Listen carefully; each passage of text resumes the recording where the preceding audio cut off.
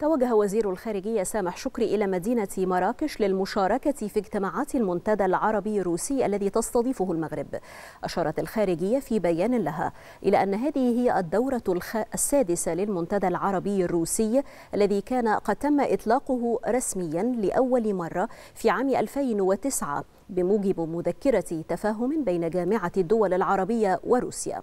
ومن المقرر أن يعقد الوزير شكري عدة لقاءات مع نظرائه على هامش المنتدى والتي تستهدف التشاور بشأن عدد من الملفات الإقليمية والدولية الهامة. وفي مقدمتها الحرب الدائرة في قطاع غزة وسبل إنهائها في أسرع وقت ممكن.